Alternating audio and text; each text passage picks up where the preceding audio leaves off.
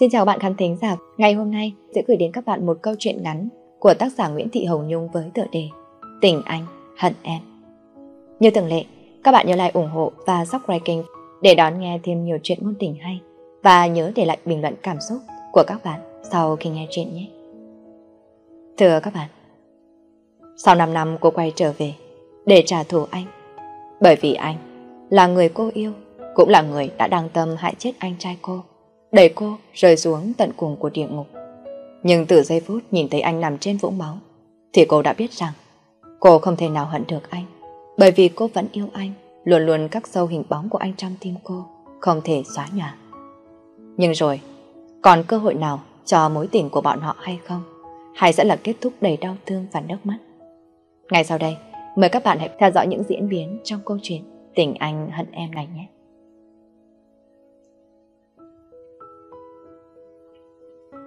Sau ba ngày, trời đổ cơn mưa tầm tã, mặt trời cũng dần ló dạng.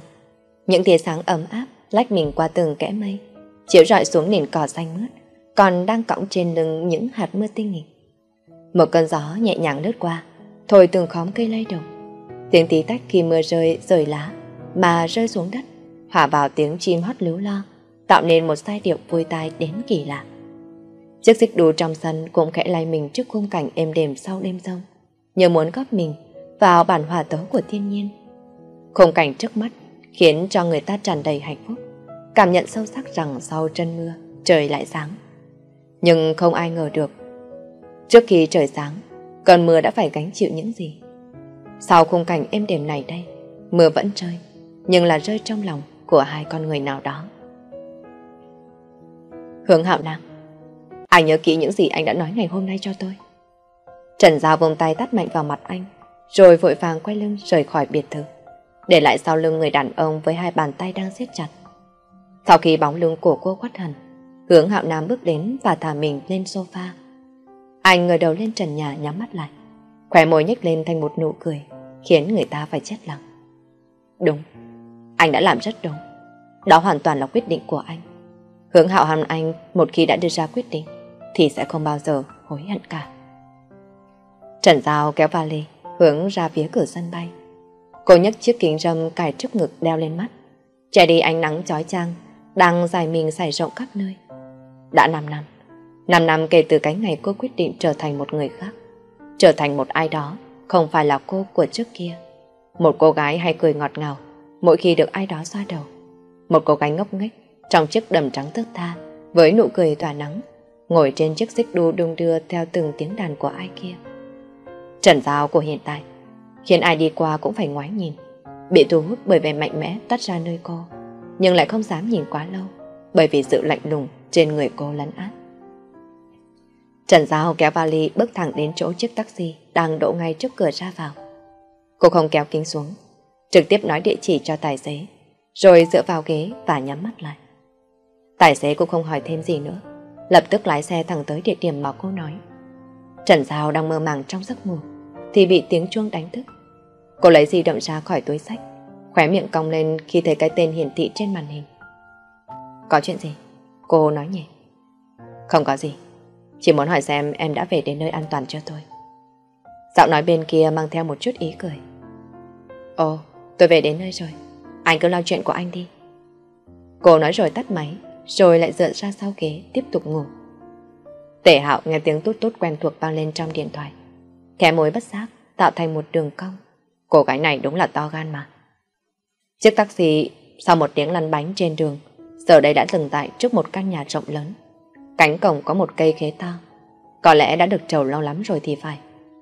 Trần Giao bước xuống xe, ngước nhìn lên ngôi nhà trước mặt, cô đã trở về.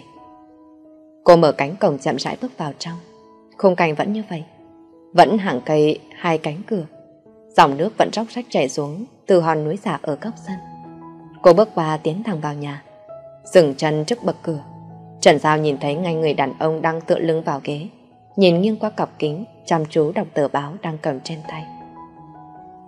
Nghe thấy tiếng động, ông Trần Vĩnh Khánh tay cầm tờ báo nhưng hơi hạ xuống, quay mặt nhìn ra phía cửa, ông sững người lại. Bố à, con đã về rồi. Cô buông tay khỏi chiếc vali, vét miệng nhìn ông cười. Ông Trần đặt tờ báo xuống ghế tiến tới bên con gái, vỗ vỗ vào vai cô. Về là tốt rồi. Mà sao không báo trước để bố đi đón? Đi đường xa có mệt lắm không con? Ông hỏi con gái, giọng nói dịu dàng mang theo một chút trách móc. Nhìn bộ dáng hiện tại của ông, khó ai có thể tưởng tượng được ông là một giám đốc nghiêm nghị của công ty bất động sản, khiến bao nhân viên phải e dè. Trong công việc ông nghiêm khắc thận trọng, nhưng trước mặt của con gái này, ông chỉ là một ông bố thân thiết và yêu chiều con. Con không sao, con ra sân bay là bắt taxi về nhà ngay. Trên đường có chậm mất một lát nên cũng không mệt lắm mà. Mà mẹ con có nhà không bố? Cô vừa dứt lời thì nghe tiếng vọng từ cầu thang phát ra. Ai đến nhà vậy ông? Một người phụ nữ đứng tuổi, tóc dài ngang vai xuất hiện sau câu nói đang bỏ lửng. Hoàng Lệ Quyên đeo tạp dề, vừa đi ra vừa xoa xoa hai tay vào nhau. Bỗng bà đứng cựng lại nhìn hai bố con. Mắt bà bỗng dưng, dưng, rồi bà chạy lại phía cửa. Mẹ! Cái con bé này, cuối cùng con cũng chịu về rồi. Giọng mắng yêu và hờn trách của bà mẹ hơi nghẹn lại. Từng giọt nước mắt của mẹ nhẹ nhàng chảy xuống cằm. Trần Giao tiến tới ôm lấy mẹ. Con xin lỗi mẹ. Bảo Quyên buông con gái ra, kéo tay cô về phía chiếc sofa. Nào, ngồi xuống đây. Sao về mà không gọi trước, để mẹ chuẩn bị thêm nhiều món ngon con thích. Mẹ yêu nấu món nào con cũng thích hết mà. Trần Giao tét miệng cười. Cô giờ đây các hẳn vào lúc mới bước xuống máy bay. Cô trước mặt cha mẹ cười ngọt ngào thoải mái đến như vậy. Bộ dáng giống như một đứa trẻ, muốn xa vào lòng mẹ để được yêu thương vỗ về.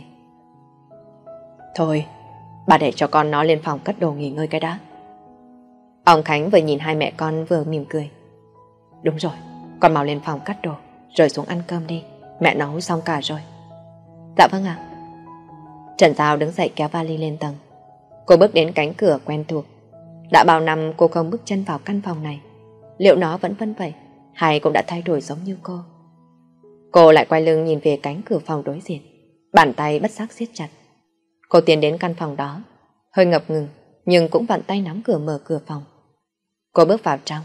Căn phòng được trang trí với gam màu tối. rèm cửa màu xám vẫn nằm im lìm. Trần Giao tiến tới trước bàn làm việc ở một góc phòng.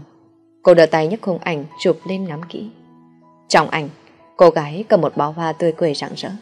Bên cạnh là một chàng trai, trông có vẻ lớn tuổi hơn cô một chút.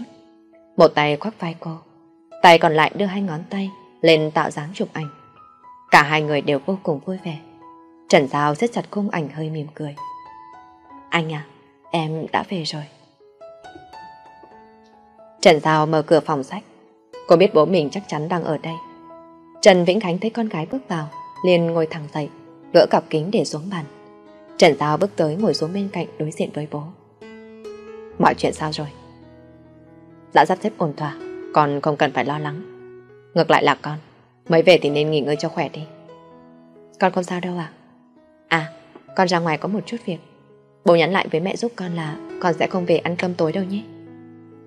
Ông Khánh nhìn theo bóng lưng cô con gái, bật ra tiếng thở dài. Con gái ông từ sau khi cái chết của Vĩnh Kỳ bỗng trở nên trầm mặc. Trần Vĩnh Kỳ, một cái tên như con dao hai lưỡi cứa vào lòng ông. Cái tên chính là ông đã đặt đứa con trai đầu lòng, cho đứa con trai mà ông hết mực yêu thương, hết mực kỳ vọng. Vĩnh Kỳ rất có năng khiếu trong quyện kinh doanh. Anh quyết đoán có lập trường, lại có đam mê. Ông Khánh tin chắc rằng sau khi trao công ty lại cho anh, công ty nhất định sẽ tiến xa hơn. Nhưng ai ngờ được số phận lại trêu đùa con người ta đến như vậy. Đêm đó nghe tin con trai bị tai nạn qua đời. Ông dường như đã chết lặng. Bảo Quyền khóc đến ngất lên ngất xuống không biết bao nhiêu lần. Trần Giao cũng từ đó mà dường như trở thành một con người khác. Trước đó Trần Giao có mơ ước trở thành một vũ công chuyên nghiệp. Từ nhỏ, cô đã rất thích nhảy múa. Cô tham gia rất nhiều cuộc thi và cũng đã đạt được rất nhiều giải thưởng. Năm đó cô vừa tốt nghiệp cấp 3, có ý định sang Anh du học. Cô sẽ học một lớp đào tạo chuyên nghiệp. Nhưng từ sau cái chết của anh trai, cô trầm mặc ơn ít cười hơn. Vài tháng sau cô vẫn lên máy bay đến Anh. Chỉ có điều mục tiêu của cô đã dần dần thay đổi. Trần Giao bắt đầu học kinh doanh bất động sản. Cô theo học lớp đào tạo chuyên môn và trong 5 năm qua cũng đã đạt được một số thành tựu nhất định. Trần Vĩnh Khánh nửa vui mừng nhưng nửa khác lại cảm thấy xót xa. Ông biết con gái ông làm như vậy là vì ông, vì người anh trai đã mất của nó. Ông lại thở dài, đứa con gái này của ông. Ông chỉ muốn nó vui vẻ mà sống hết cuộc đời. Nhưng ông cũng biết, cuộc đời thì chẳng mấy để cho ai vừa ý được. Trần Giao ngắm nhìn mình trước gương. Cô mặc trên mình một chiếc váy màu trắng cổ tròn, từng lọn tóc thả buông thẹn thùng, che đi bờ vai trắng ngần. Chân đi giày cao gót trắng, phối thêm một chiếc túi sách màu hồng nhạt. Hình ảnh trước mắt chính là Trần Giao, giống như 5 năm trước. Dịu dàng, ấm áp, dễ rung động. Chỉ khác ở chỗ là không còn nụ cười ngọt ngào như trước kia nữa. Cô ra khỏi phòng, trực tiếp bước vào chiếc xe đã đợi sẵn ở trước cửa nhà. Nhưng lần này không phải ở ghế sau. Cô ngồi vào ghế lái thắt dây an toàn, rồi phóng vút đi. Xe phóng nhanh trên đường, Trần Giam nhếch miệng cười. Mọi thứ đã sẵn sàng, chỉ còn chờ cô hành động nữa thôi. Cô đã dùng 5 năm để chuẩn bị cho kế hoạch này. Cô quyết sẽ không để cho anh trai phải thất vọng. Hướng hạo năng nhấp một ngụm cà phê, rồi tiếp tục gõ gì đó trên chiếc máy tính trước mặt. Hôm nay anh có một cuộc gặp mặt rất quan trọng với bên đối tác. phía đối tác bên kia là một người rất có tiếng trong ngành kinh doanh. Mà dự án mới của công ty anh, nếu được ông khẳng định, thì chắc chắn sẽ thành công. Anh nhìn đồng hồ, còn 5 phút nữa là đến giờ hẹn. Hướng hạo nam gặp máy tính lại để sang một bên. Hiếm có một cuộc gặp nào anh lại tự mình ra mặt. Và chưa có lần nào đàm phán, anh ra mặt lại không thành công. Cánh cửa quán mật mờ, là một người đàn ông khoảng 50 tuổi bước vào. Bên cạnh còn có một người đàn ông khác, chỉ khoảng 30 tuổi. Tay sách một chiếc cặp hồ sơ cũng bước vào theo. Buổi hẹn gặp hôm nay là do bên đối tác chọn. Địa điểm là quán cà phê bên trong một trung tâm thương mại. Bên anh đã bao cả tầng 2 của quán để tránh gián đoạn trong cuộc họp. Còn về lý do tại sao bên đối tác lại chọn quán cà phê này thay vì văn phòng yên tĩnh thì anh cũng không mấy quan tâm. Hướng hạo nam đứng dậy, đưa tay ra bắt lấy tay của ông Dương Đình Thắng và anh trợ lý, rồi ba người cùng ngồi xuống ghế. Chào ông, tôi là Hướng Hạo Nam, là CEO của tập đoàn Hướng Thị, rất vinh dự khi được gặp ông.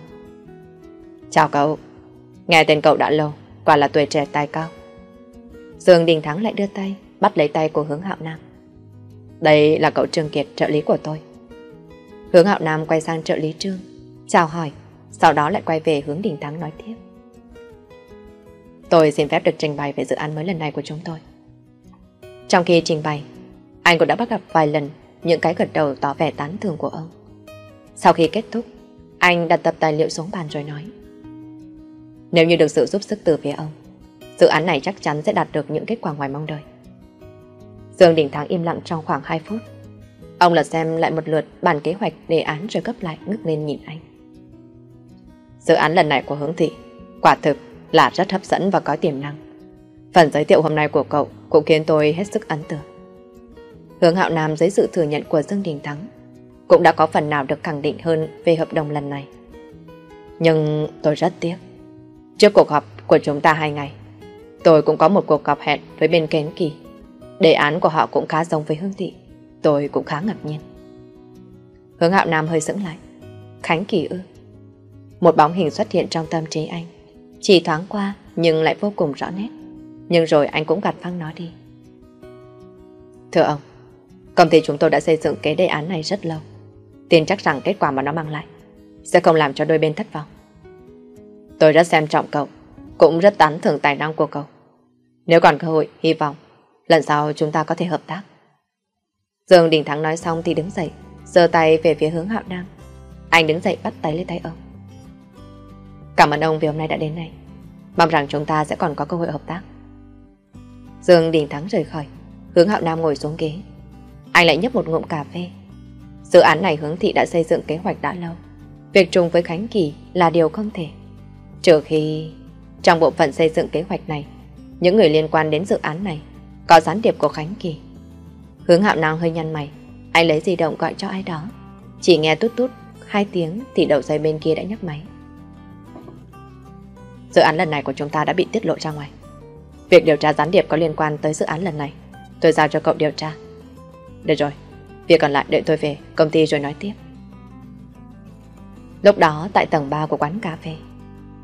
Dương phu nhân, hôm nay chúng tôi tham gia một buổi đấu giá và may mắn đấu giá được chiếc túi sách này. Nghe nói đây là nhãn hiệu mà phu nhân rất thích nên muốn tặng lại cho phu nhân. Trần Giao cười ngọt ngào rồi đầy hộp quà về phía người phụ nữ đối diện. Người này khoảng 40 tuổi, ăn mặc sang trọng, tóc búi cao. Bà ta mở hộp quà ra xem. hơi dững lại một chút, nhưng không giấu nổi vẻ thích thú. Ngập ngừng một lát, rồi lại để hộp quà về phía Trần Giao. Món quà quý giá như thế này, làm sao tôi có thể nhận được? Món quà quý giá thì luôn dành cho người quý giá. Mong phu nhân hãy nhận lấy tấm lòng của Trần Giao. Dự án lần này khánh kỳ, may nhờ có sự giúp đỡ của Dương Tổng và phu nhân đây. Tôi có giúp được gì to tát đâu, vẫn là do Trần Tông tài giỏi. Không những vậy còn có đứa con gái vừa giỏi giang, xinh đẹp lại dịu hiền. Phu nhân quá khen rồi. Cô mỉm cười nhìn người phụ nữ đối diện, rồi hai người lại tiếp tục trò chuyện với nhau về những hãng thời trang nổi tiếng. Sau khi Dương phu nhân rời đi, Trần Giao có lán lại quán cà phê một lúc, rồi cũng đứng dậy ra về. Cô bước ra đến cửa, thì bắt gặp phía xa xa hình bóng quen thuộc mà cô không bao giờ quên. Cô nở ra một nụ cười nhạt, trái ngược hoàn toàn với hình tượng thiếu nữ dịu dàng lúc nãy của cô. Trần Giao siết chặt nắm tay, rồi ngay lập tức quay người bỏ đi. Hướng Hạo Nam đẩy cửa bước vào văn phòng. Anh đi trực tiếp đến bàn làm việc và bắt đầu xử lý những hồ sơ mới được mang tới. Việc hợp tác không thành công với Dương Đình Thắng cũng đã khiến cho công ty gặp khá nhiều rắc rối. Hơn nữa vẫn chưa tìm ra gián điệp phía bên cánh Kỳ. Điều này khiến cho anh đau đầu suốt mấy ngày nay. Cửa văn phòng khé mở. Vương ngữ nhiên lại ôm thêm một sấp hồ sơ nữa bước vào. Vương ngữ nhiên là thư ký riêng của anh, cũng là đàn em khóa dưới của anh hồi đại học. Cô đã làm thư ký ở hướng thị sau khi tốt nghiệp. Cũng là từ khi bắt đầu anh điều hành hướng thị. Cô xinh đẹp, tốt nghiệp với tấm bằng xuất sắc, lại giỏi xã sao. Nên trong công việc, cô chưa bao giờ khiến hướng hạo nam phải thất vọng. Nhưng điều khiến anh hơi e ngại, chính là anh biết rõ cô có tình cảm với mình. Nhưng cô chưa bao giờ đi quá đà, nên anh vẫn giữ cô lại ở bên mình. Vương ngữ nhiên để sắp tài liệu lên bàn, rồi bắt đầu nói sơ qua về những kế hoạch tiếp theo trong ngày. Nói xong thì cô gặp tài liệu lại. Tối nay anh không có lịch hẹn. Có thể dành buổi tối nay đi ăn với em không? Em muốn cảm ơn anh vì lần trước đã để em tới bệnh viện. Hôm đó Vương Ngữ Yên gặp phải tai nạn giao thông. Đúng lúc hướng Hạo Nam lái xe qua đó nên đã đưa cô tới bệnh viện. Đồng nghiệp giúp đỡ nhau là chuyện nên làm.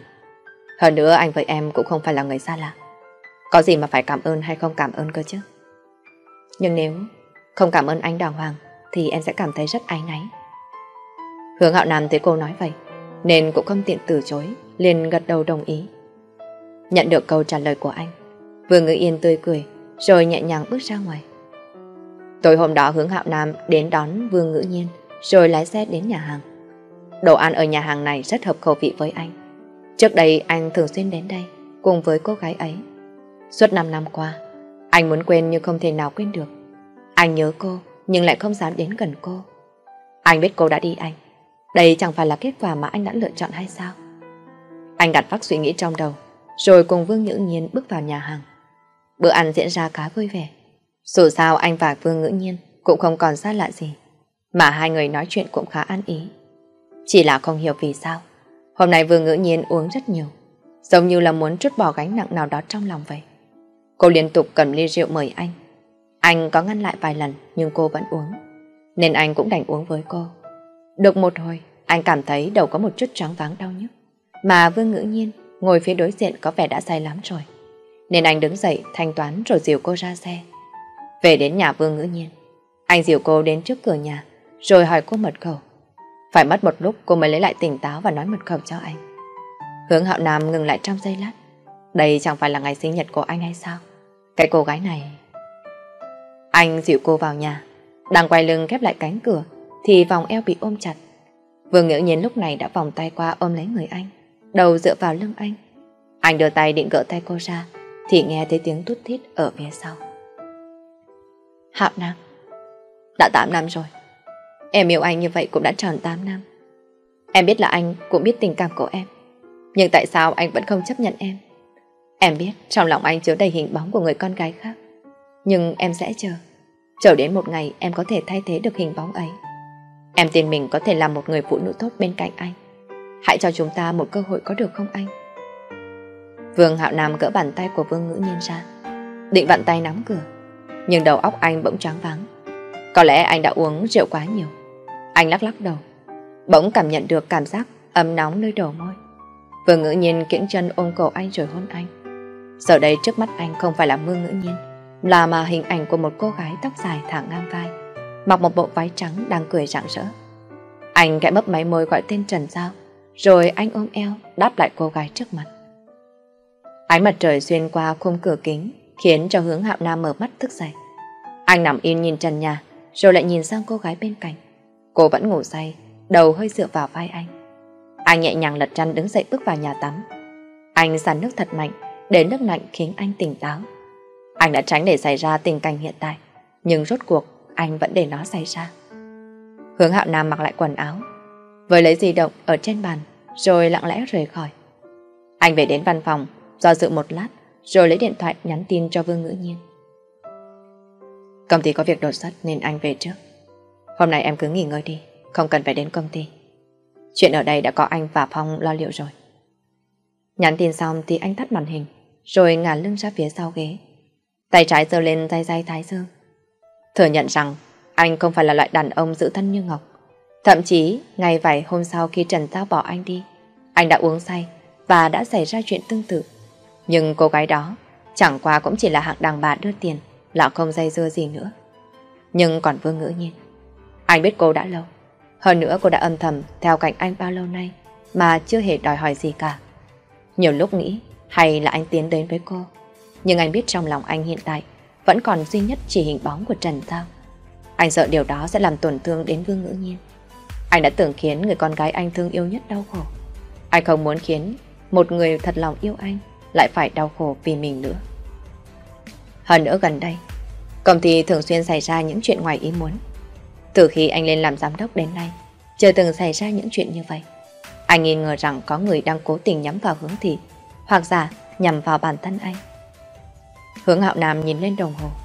2 giờ chiều công ty có một cuộc họp quan trọng. Nội dung chủ yếu là giới thiệu phó giám đốc mới do các tổ cổ đông đề cử.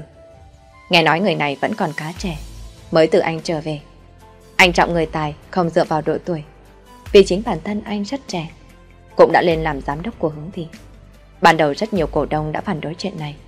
Nhưng vì biểu hiện và thành tựu anh đạt được, cho nên trong suốt 5 năm qua, anh đã phải chứng minh thực lực của mình. Đến nay chỉ còn một vài cổ đông giả cội, cố chấp muốn thay đổi vị trí giám đốc công ty. Hướng Hạo Nam cùng với trợ lý Dương Hải Phong bước vào cửa phòng họp. Mọi người hầu như đã đến đủ. Cuộc họp còn 5 phút nữa là bắt đầu. Anh vừa ngồi vào chỗ thì cửa lại mở ra một lần nữa.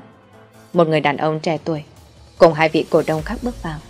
Anh ta trong khoảng 30 tuổi, dáng người cao ráo, mặc một bộ vest màu xanh thẫm toát lên vẻ khí đạo mạo. Anh ta vừa tiến đến ghế ngồi, vừa gật đầu chào hỏi mọi người.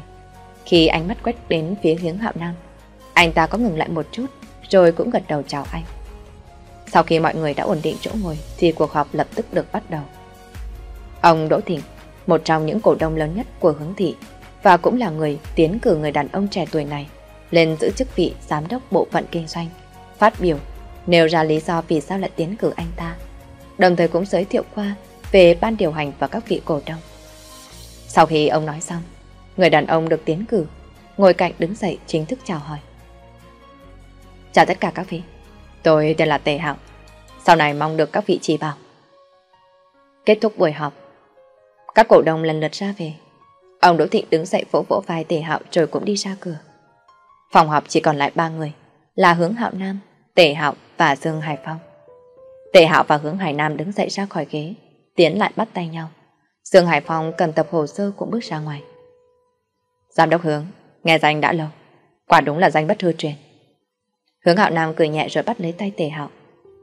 Được ông Đỗ tiến cử, anh hẳn phải là một nhân tài hiếm có.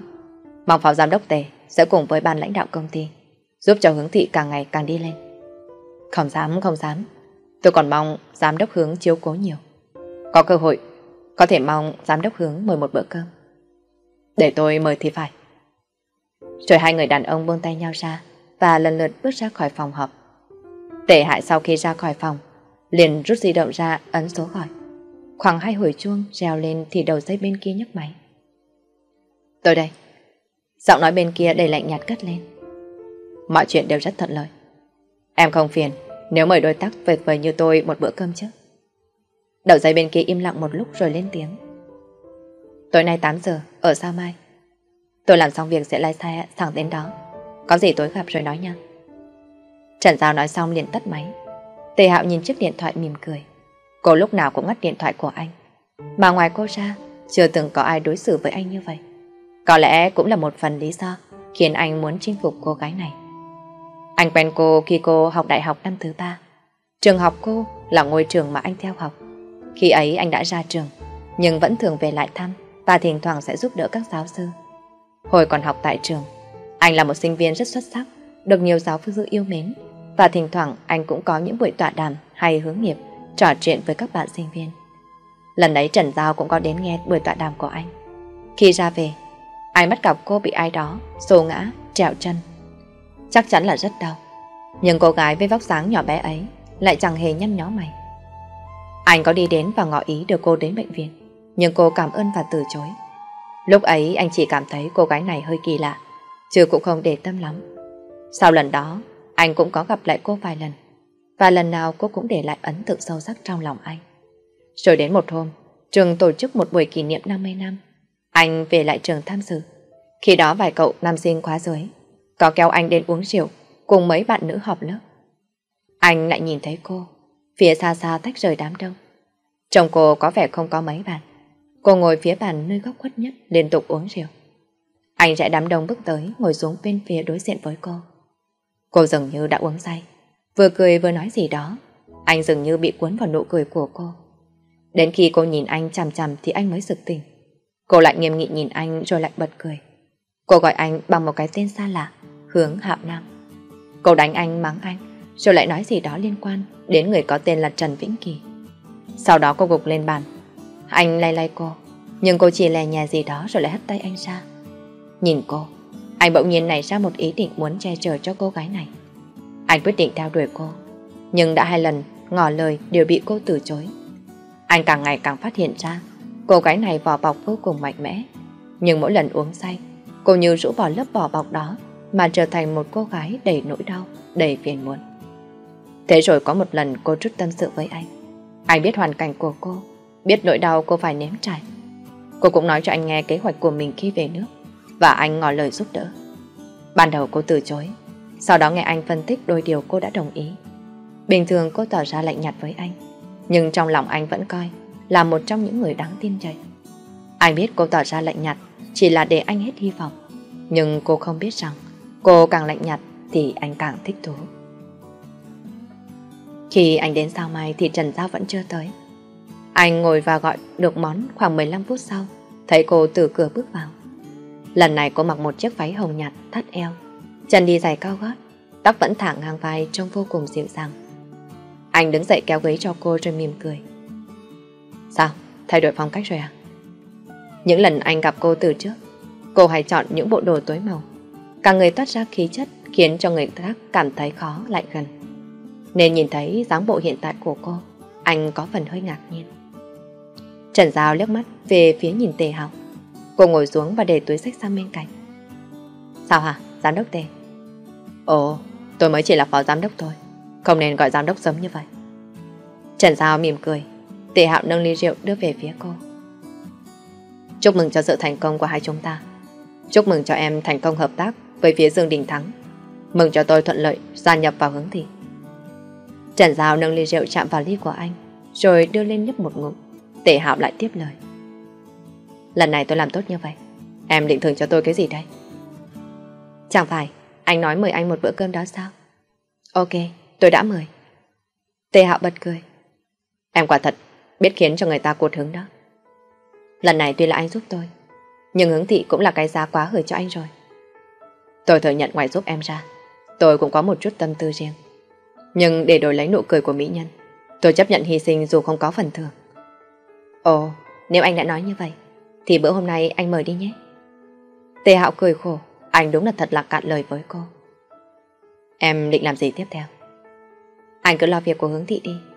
Có gì cần hỗ trợ từ phía Khánh Kỳ thì cứ liên hệ trực tiếp với tôi. Còn về phía hướng Hạo Nam, tôi đã có kế hoạch. Anh gật đầu, sau đó hai người tiếp tục cùng nhau ăn tối. Hướng Hạo Nam phóng xe nhanh tới bệnh viện. Anh đang ở văn phòng thì nhận được điện thoại báo là Vương Ngữ Nhiên bị ngã dập cầu thang phải vào bệnh viện. Mã số của anh được lưu ở vị trí quan trọng đầu danh bà, cho nên người ta đã gọi điện thoại cho anh. Còn về phía Vương Ngữ Nhiên, cô hiện tại vẫn chưa tỉnh lại. Đến nơi anh đang làm thủ tục nhập viện cho cô, rồi đến phòng bệnh. Bác sĩ nói tình trạng không quá nghiêm trọng, chỉ là do phần đầu bị va đập, cho nên cơ thể của bệnh nhân hơi choáng váng, nên chưa thể tỉnh lại ngay được. Sau khi tỉnh lại và nghỉ ngơi vài ngày là sẽ không sao cả. Hướng hạo Nam vừa bước vào phòng, liền nhìn thấy Vương Ngữ Nhiên nằm im lìm trên giường bệnh. Khuôn mặt của cô hơi nhợt nhạt đi, chứ không còn hồng hào như ngày thường nữa.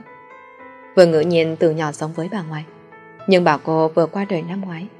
Mà về phía họ hàng nhà cô, anh hầu như không thấy cô nhắc tới. Có lẽ giờ anh là người duy nhất biết cô phải nằm viện. Anh ngồi xuống bên cạnh giường bệnh. Cái cô gái này không biết đi đứng như thế nào mà lại để ngã cổ thang. Tay cô bỗng nhiên cử động rồi mở to mắt. Hướng hạo nam đứng dậy định gọi bác sĩ, thì cánh tay đã bị cô giữ lại. Anh đành vòng lại đỡ lấy cô, để cô dựa vào giường. Em sao rồi? Mới tỉnh lại đừng cử động, để anh đi gọi bác sĩ. Em không sao, anh đừng gọi bác sĩ. Em muốn nói chuyện riêng với anh một lúc. Anh ngồi xuống ghế nhẹ nhàng cỡ tay cô ra khỏi tay mình, rồi đặt lên giường. Chuyện hôm đó, anh xin lỗi. Vương ngữ nhìn cười khổ. Có gì mà phải xin lỗi chứ? Mặc dù đúng là do tác dụng của rượu, nhưng là em tình nguyện, em không hối hận. Em không ép anh phải chịu trách nhiệm hay gì cả. Nhưng em mong anh hãy cho em một cơ hội, cũng như là cho anh một cơ hội. Hãy để em giúp anh quên đi hình bóng cô gái đó, có được không anh? Anh... Anh không chắc mình phải mất bao lâu mới có thể quên được cô ấy nên... Không sao, chỉ cần anh chịu chấp nhận em, bao lâu em cũng có thể đợi được. Cô lại nắm lấy tay anh. Trước đây có rất nhiều chàng trai từng theo đuổi cô, nhưng đều bị cô từ chối. Cô chưa từng nghĩ một vương ngữ nhiên từng kiêu ngạo đến thế, lại có ngày phải cầu xin tình yêu một cách hèn mọn như thế này. Nhưng không sao cả, vì đó là anh. Nếu để cô không chủ động giành lấy, thì hạnh phúc chẳng thể nào mà tự mọc cánh bay đến với cô được. Hướng hạo nam nắm lấy bàn tay cô. Anh và Trần Sao có lẽ chẳng thể còn cơ hội nào nữa. Có lẽ anh nên cho bản thân và người thật lòng yêu thương mình một cơ hội. Cảm ơn em. Vương ngữ nhiên bật khóc. Cô vui mừng đến bật khóc. Sao lại khóc rồi? Bạn gái của hướng hạo Nam Anh làm sao có thể dễ dàng khóc như vậy? Vương ngữ nhiên lại khóc to hơn. Anh ngồi bên cạnh lau nước mắt cho cô, rồi đỡ cô nằm xuống. Thôi được rồi, em nghỉ ngơi trước đi ạ. Anh ra ngoài gọi bác sĩ. Vương ngữ nhiên gật đầu rồi ngoan ngoãn nghe lời của anh. Ba ngày sau Vương ngữ nhiên xuất viện. Hướng hạo Nam tan họp liền đến để giúp cô làm thủ tục. Quan hệ của hai người giờ đã thay đổi. Anh cũng ý thức được việc phải quan tâm đến cô nhiều hơn. Sau khi họp xong thủ tục, anh trở lại phòng bệnh. Đang bước đi thì lập tức giữ người lại. Trần Giao đi cài nhắc đang tiến về phía anh. Cô cúi đầu có lẽ là chưa nhìn thấy anh. Rồi một tay cô vịn vào tường, một tay giữ lấy bàn chân đang bó bột, định ngồi xuống hàng ghế cạnh đó. Anh nhìn hình dáng, yếu đuối nhỏ bé của cô. Bao hình ảnh khi xưa lại hiện về. Nhưng khi cuối tuần được nghỉ học, cô thường bật nhạc rồi nhảy múa cho anh xem. Đôi chân trần của cô nhịp nhàng uyển chuyển, khiến anh lần nào cũng đắm chìm vào điệu múa của cô. Cô nhỏ bé như vậy, nhưng nhìn bộ dáng hiện tại của cô, lòng anh không khỏi rát xa. Ánh mắt anh bỗng bắt gặp ánh mắt của cô khi cô vô tình ngẩng đầu lên. Cả hai người nhìn chằm chằm nhau khoảng 3 giây, thì anh rời ánh mắt đi trước. Nhìn cô có vẻ rất ngạc nhiên. Anh cũng vô cùng ngạc nhiên. Cô đã trở về rồi sao? Cô trở về khi nào? Chân cô tại sao lại bị thương? Anh có vô vàn câu hỏi muốn hỏi cô, nhưng tự ép bản thân không được phép để ý đến cô. Khi xưa anh quyết tâm dứt khoát với cô, quyết tâm để cô ra xa khỏi mình. Vậy giờ anh còn tư cách gì mà quan tâm tới cô nữa? Anh tiếp tục bước đi. Khi lướt qua cô thì bàn tay anh siết chặt lại. Trần Giao tỏ vẻ vô cùng bất ngờ khi nhìn thấy anh. Cô ngập ngừng định tiến về phía trước, nhưng rồi lại ngồi xuống. Khi anh lạnh lùng lướt qua mình, cô khẽ nhích môi. Lần này cô trở về, chính là muốn nhìn thấy bộ dạng yếu đuối, đau khổ của cô. Cô muốn để cho anh thấy nỗi đau mà anh đã đem đến cho cô. Nó đã hủy hoại cô như thế nào. Đương nhiên trong tư tưởng của mình, cô không nghĩ một người từ thủ đoạn bắn đứng bạn bè, lừa gạt tình cảm như anh lại thương xót cô hay tỏ ra hối hận. Nhưng ít ra anh cũng phải biết trột dạ chứ. Và rồi cô sẽ khiến cho anh phải hối hận, phải đau khổ, gấp nhiều lần so với những gì cô đã trải qua. Anh đi khuất, Trần Giao đứng thẳng dậy, bước tập tễnh ra khuôn viên phía trước bệnh viện. Vết thương ở chân là thật, nhưng là do cô cố tình gây ra. Cô biết Vương Ngữ Nhiên đang ở bệnh viện này. Cô càng biết hướng Hạo Nam hôm nay sẽ đến làm thủ tục ra viện cho cô ta. Cuối cùng hai người cũng ở bên nhau công khai rồi. Không còn lén la lén lút như cái hồi cô và anh còn ở bên nhau nữa. Cũng phải thôi. Sống lâu như vậy chẳng qua là để lợi dụng cô. Nhưng bây giờ cô còn gì đâu để mà lợi dụng nữa. Hướng Hạo Nam diều Vương Ngữ Nhiên ra tới cửa bệnh viện. Anh đã đỗ sẵn xe ở đó. Nhưng trước khi anh và Vương Ngữ Nhiên bước vào xe, thì đã kịp nhìn thấy hình ảnh nhỏ bé của cô. Cô đang viện vào hàng ghế đá tập tễnh bước đi. Gần đó không có ai cả. Bỗng cô té ngã, loài hoài mãi vẫn không thể đứng dậy được. Cả anh và Ngưng nghĩ Nhiên đều nhìn thấy cô. Anh nhíu mày. Lúc này đây anh chỉ muốn chạy ngay tới để đỡ cô dậy, nhưng anh không thể. Anh tự nói với bản thân mình như vậy. vừa Ngữ Nhiên hết sức ngạc nhiên. Cô ta nhìn về phía Trần Giao, rồi quay sang nhìn về phía anh. Thấy anh nhăn mày nhìn về phía đó, cô níu lấy tay anh rồi nói. Mình vào xe thôi anh, em thấy hơi mệt. Anh như sự tình, nhưng vẫn nhìn về phía Trần Giao. Rồi cô y tá chạy tới đỡ cô đứng dậy. Anh thở phào Diệu Vương Ngữ Nhiên vào xe, rồi lái xe rời khỏi. Trần Giao nhìn thấy anh Diệu Vương Ngữ Nhiên. Tuy nói có căm hận, nhưng trong lòng lại nhăn nhóm một nỗi chua xót. Tận sâu trong đáy lòng cô, thật ra vẫn còn yêu anh, vì yêu nên cô lại càng hận. Tề Hạo đã thấy cô từ lâu, cũng thấy những gì vừa mới xảy ra. Anh bước tới chỗ cô đang ngồi. Trần Giao nghe thấy tiếng bước chân từ đằng sau. Cô quay người lại, nhìn thấy Tề Hạo, cô dừng dưng tự người vào ghế. Sao hả? Vì đã đạt được mục đích, nên không tiếc để làm tổn thương bản thân sao? Có đau không? Chút vết thương này thì làm sao có thể làm tôi đau được? Tôi hỏi là trong lòng em có cảm thấy đau không? Trần Giao ngước lên nhìn anh ta, rồi cô không nói gì chỉ mỉm cười. Tề Hạo nhìn cô gái trước mặt, anh vừa giận nhưng lại vừa thương. Anh biết rõ trong lòng cô vẫn còn yêu hướng hạng Nam. Bằng chứng là mỗi lần cô say, cô đều gọi tên anh ta. Cô muốn làm anh ta đau khổ, ngược lại là làm đau chính mình. Nhưng Tề Hạo vẫn lựa chọn giúp cô. Bởi vì anh biết cô rất cứng đầu, cô sẽ không thay đổi quyết định. Anh lại không muốn cô cô đơn mà phải trải qua sự dày vò đó. Anh đỡ lấy cô rồi nói. Nào, hôm sau thế đủ rồi. Để tôi đưa em vào phòng. Trần Giao không từ chối, cô gật đầu rồi cất tiếng. Ngày mai tôi xuất viện, muốn ở tạm chỗ anh vài hôm. Tôi không muốn để bố mẹ mình biết mình bị thương rồi lại lo lắng. Được. Từ hôm thấy Trần Giao ở bệnh viện, Vương Ngữ Nhiên luôn cảm thấy bất an. Tại sao? Tại sao cô ta lại trở về?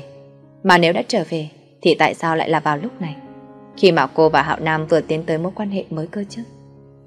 Hai ngày sau khi Vương Ngữ Nhiên ra viện, Hướng Hạo Nam vẫn thường tới thăm cô. Nhưng nhiều khi đang nói chuyện với anh, cô lại thất thần.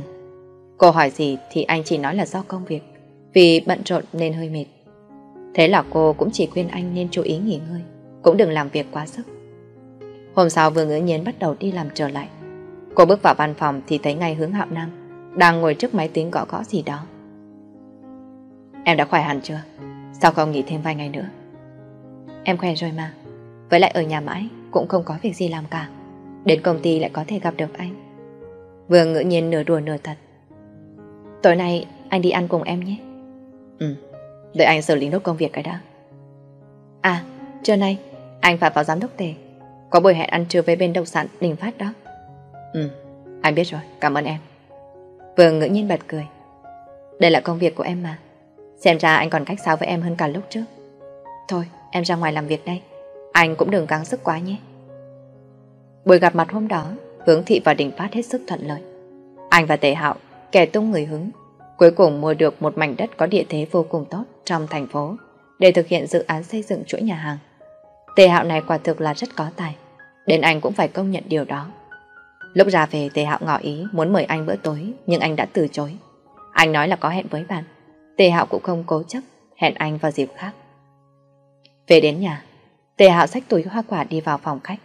Anh biết Trần Giao thích ăn đào, nên lúc quay về đã cố tình rẽ vào quán hoa quả tươi, mua một chút đào cho cô.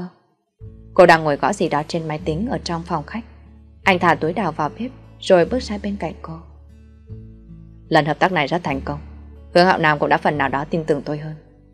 Cô gật đầu vẫn nhìn vào máy tính. Gì đây? Dự án mới của Khánh Kỳ à? Có phải em bận rộn quá rồi không đó? Tụi tôi có kế hoạch riêng của mình. Nhưng cũng không thể giúp đỡ bố tôi canh phát một chút việc ở công ty. Dù sao bố tôi cũng đã có tuổi rồi. Sao hả? Sợ bố vất vả ư? Hay là kiếm cho bố một chàng rể giỏi sang để chia sẻ công việc giúp bố? Tôi mạnh dạn tiến cử mình đây này. Tề Hạo bật cười rồi nói. Thật là ấu trĩ. Trần Giao lạnh lùng đáp lại. À, tôi định mời hướng Hạo Nam đi ăn tối. Nhưng anh ta nói đã có hẹn. Em nói xem liệu có phải là phụ nữ không? Chuông điện thoại của cô treo lên. Trần Giao vừa lấy điện thoại rồi ấn nghe. Người ở đầu dây bên kia nói gì đó với cô. Chỉ thấy cô đáp lại một câu. Ok, tôi biết rồi rồi tắt máy. Để điện thoại xuống bàn, Trần Giao quay sang Tề Hạo nói. Anh đoán đúng rồi đó, đúng là phụ nữ. Trần Giao lái xe đến nhà hàng quen thuộc. Trước đây hướng Hạo Nam hay dẫn cô đến đây để ăn cơm. Hiện tại, anh ta lại hẹn hò cùng với người phụ nữ khác ở đây. Cô kẽ cười khẩy. Đúng là ông trời thật biết trêu chọc người khác mà. Cô bước vào trong quán. Cô chọn một góc quất rồi ngồi xuống. Gọi một vài món ăn rồi nhìn xung quanh. Chỉ qua cô thấy ngay hướng Hạo Nam và Vương Ngữ Nhiên đang ngồi ở dãy góc bàn phía bên kia. Cô âm thầm quan sát bọn họ. Vương Ngữ Nhiên ngồi phía hướng phía cô đang ngồi. Cười rất tươi. Cô đảm bảo chỉ một lát nữa thôi cô ta sẽ không thể cười nổi nữa. Khoảng 15 phút sau, cô lỡ đúng lúc Vương Ngữ Yên vô tình liếc qua mà đứng dậy đi về phía nhà vệ sinh. Cô chính là muốn để cho cô ta nhìn thấy cô. Trần Giao đi thẳng không quay đầu lại, nhưng cô chắc chắn Vương Ngữ Nhiên đang đi theo mình. Vừa bước vào cửa phòng vệ sinh thì cô nghe thấy tiếng gọi giật lại. Trần Tao, cô đứng lại. Trần Tao mỉm cười, nhưng khi quay đầu lại thì tỏ vẻ ngạc nhiên. Ồ, ai đây? Lâu quá không gặp, thật là trùng hợp quá. Đi ăn mà cũng gặp phải chị. Đúng là cô thật, cô đã trở về rồi. Đúng, tôi đã trở về rồi. Sao hả? Trột dạ rồi sao? Sợ tôi cướp mất tình yêu ngọt ngào của chị à? Ồ, hình như tôi cũng tính vậy đấy. Cô... đồ đê tiện. Cô cố tình đến đây có phải không? Cô theo dõi tôi. Đã nói là trùng hợp mà. Chị vẫn thích ép người như xưa nhỉ? Chính cô mới là người ép tôi. Trước đây, người hảo nam yêu là tôi. Hiện tại càng là tôi. Bây giờ cô trở về cũng không cứu vãn được gì đâu. Vừa ngỡ nhìn hét lớn, có vẻ mới hết bình tĩnh. Cô ta vừa mới có được tình yêu mà mình mong ước bấy lâu nay. Không thể để sự xuất hiện của Trần Sao phá vỡ tất cả được. Nếu anh ta yêu chị như vậy, thì chị còn sợ hãi điều gì? Lúc trước chị tìm đến tôi, nói cho tôi biết rõ tôi là một con ngốc để hai người lừa gạt như thế nào. Chị nói tôi xen vào giữa hai người ư. Được thôi, nếu đã bị mang tiếng xấu, tôi quyết định sẽ làm người xấu thật sự. Tôi sẽ khiến chị cảm thấy nỗi đau, bị người yêu phản bội giống như tôi. Trần Giao, cô... Vừa ngỡ nhiên giơ tay định tắt Trần Giao, nhưng Trần Giao đã giơ tay lên đỡ lại, bóp chặt lấy tay cô ta. Cô ta định rút tay ra nhưng không được, liền giơ tay còn lại nhằm thẳng đến mặt Trần Giao mà đánh xuống. Lần này Trần Giao không đỡ cũng không tránh. Cả khuôn mặt cô cánh trọn cái tát từ phía Vương Ngữ Nhiên, rồi cô ngã xuống sàn. Vương Ngữ Nhiên đơ ra, chưa kịp phản ứng gì, thì lại nghe lên tiếng ở phía sau. Ngữ Nhiên, em làm cái gì thế? Hướng hạo nam bước nhanh về phía hai người trước mặt. Nhìn thấy Trần Giao mặt sưng đỏ nằm dưới đất. Anh cảm giác như nhiệt độ cơ thể mình đang tăng lên một cách rõ rệt. Anh nhìn chằm chằm vào cô. Ánh mắt lại chuyển xuống chân cô. Nơi cổ chân vẫn quấn băng vải. Anh muốn tiến tới kéo cô dậy, nhưng lý trí đã kịp ngăn anh lại. Vừa ngữ nhiên thẳng thốt vô cùng. Cô ta quay sang nắm lấy cánh tay của hướng Hạo Nam. Hạo Nam à, em... Chưa nói hết câu, anh đã chặn lời cô ta. Em không cần nói gì cả. Anh tin em. Anh vẫn nhìn chằm chằm vào Trần sao. Lúc này cô đã đứng dậy. Cô nhìn thẳng vào hai người trước mặt. Khuôn mặt vẫn sưng đỏ in hẳn dấu tay. Không ngờ hôm nay lại gặp hai người ở đây. Nếu tôi có khiến hai người chướng mắt, thì xin lỗi. Mong rằng sẽ không gặp lại. Nói xong cô lách người đi qua hướng hậu nam và vương ngữ nhiên. Trần Giao ra khỏi đó, liền đi thẳng đến quầy thanh toán, rồi ra bãi đỗ xe lái về. Đi được một đoạn cô bất đắc cười thành tiếng, nhưng rồi lại có một thứ gì đó lấp lánh chảy xuống hai gò má. Đau, rất đau. Cô không ngờ mình vẫn vì hướng hạo nam mà cảm thấy đau lòng. Cô biết anh yêu Vương Ngữ Nhiên, nhưng khi nghe anh nói với cô ta rằng cô ta không cần nói gì cả, anh tin tưởng cô ta. Trong lòng cô vẫn không kìm được mà nhói lên. Thực ra hôm nay, cô chỉ định gặp Vương Ngữ Nhiên, nhưng cố tình chọn lúc cô ta ở cùng anh để khiến cô ta bất an, định đánh vào tinh thần cô ta. Không ngờ khi đó anh lại đột nhiên xuất hiện. Cô ta mới đi được một lúc, anh đã nôn nóng đi tìm như vậy hay sao? Khi cô nhận ra anh đang đi tới, thất thần vài giây. Đúng lúc đó Vương Ngữ Nhiên giáng cú tát đau điếng xuống mặt cô. Nhưng cô không cảm thấy gì cả. Thì ra cô đã mạnh mẽ đến vậy. Lập kế hoạch trả thù, quyết đoán như vậy. Nhưng rốt cuộc khi phải đối mặt với anh ta, cô lại không kiên cường như rằng mình đã nghĩ. Kể cả lần đó khi ở bệnh viện, cô lập kế hoạch là thật. Cô cố tình đụng mặt anh ta là thật. Nhưng giây phút thất thần nhìn thấy anh ta cũng là thật. Cô hận anh ta, muốn trả thù anh ta, nhưng cô lại càng hận chính bản thân mình hơn. Tại sao cô không thể quên đi người đàn ông ấy? Cô phải trả thù, phải trả thù cho anh trai của cô.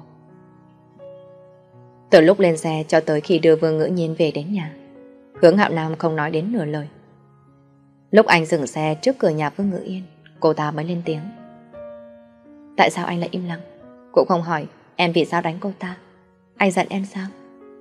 Vương Ngữ Nhiên không chịu nổi không khí im lặng này nữa. Cô quay sang nói với anh. Anh đã nói là anh tin, tin em rồi mà. Anh tin ư?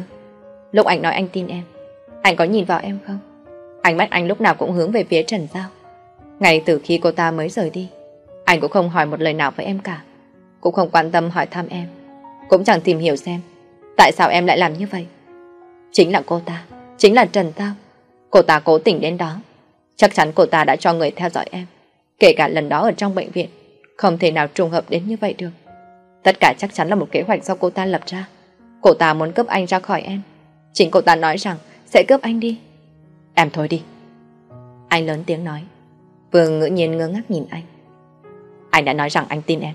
Em còn muốn gì nữa? Dù chính mắt em đã nhìn thấy em đánh cô ấy. Anh cũng không trách em hay nói bất cứ điều gì. Vậy vẫn chưa đủ hay sao? Em còn lại muốn đổ lỗi cho người khác.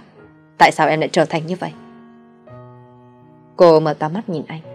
Từ khi Trần Giao xuất hiện, cô đã luôn cảm thấy bất an. Không ngờ mới đó mà điều cô lo lắng bấy lâu đã trở thành hiện thực. Anh nói anh tin em. Tin em mà nói em đổ lỗi cho cô ta ư? Tin em mà tỏ thái độ đó là sao? Trần Giao cô ta không hề điều đuối như anh nghĩ đâu. Cô ta trở về lần này nhất định là có mục đích. Tất cả chỉ là đang diễn kịch cho anh xem mà thôi. Thôi được rồi. Em về nhà nghỉ ngơi đi. Anh không muốn nhắc đến chuyện này nữa.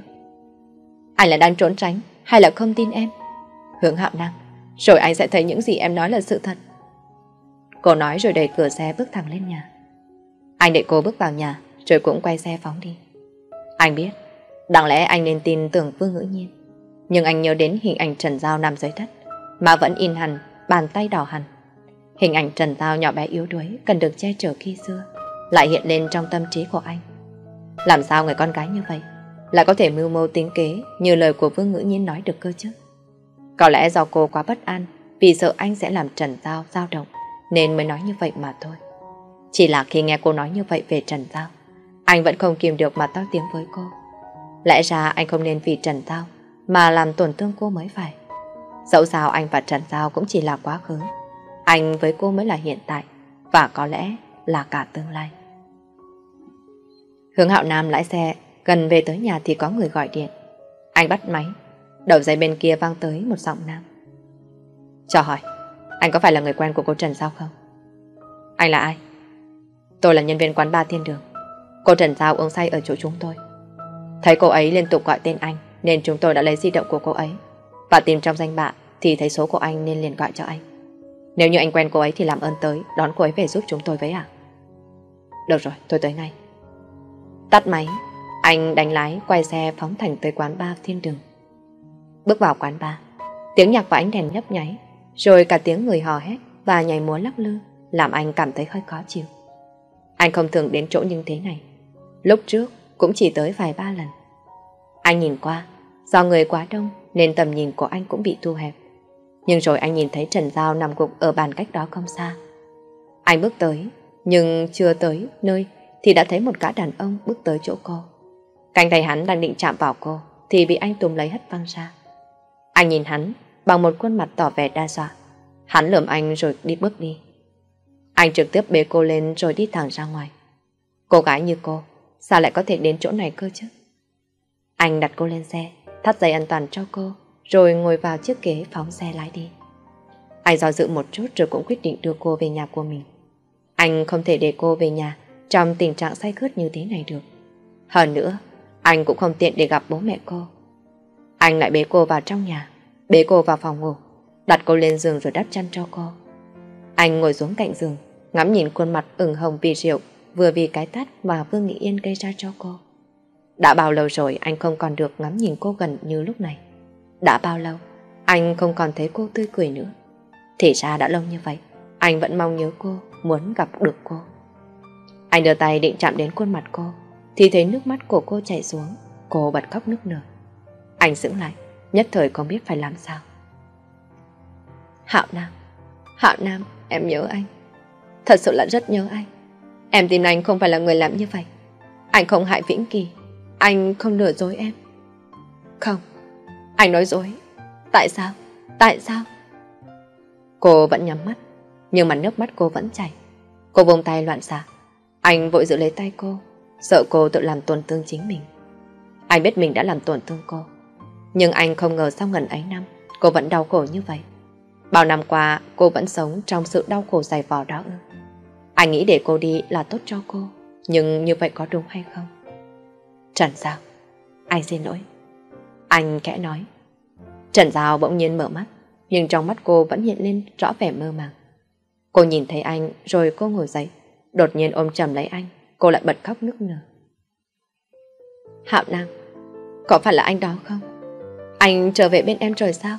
Em hận anh, nhưng em lại càng yêu anh. Nếu em nói em chấp nhận tha thứ, liệu anh có quay về bên em không? Tim anh nhói lên. Anh lại ôm cô, vỗ về cô. Anh chỉ dám ôm cô trong lúc cô say thế này thôi. Cô nói có thật không? Cô có chịu tha thứ cho anh thật sao?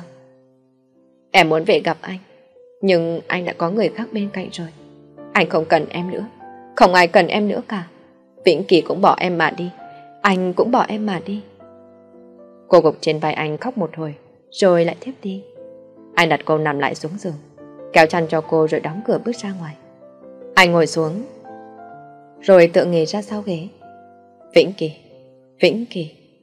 Cái tên đó không chỉ quan trọng với cô, mà kể cả anh cũng chẳng thể nào xóa nhòa được. Vĩnh Kỳ là anh trai của Trần Giao, cũng là người bạn thân nhất của anh từ hồi học đại học.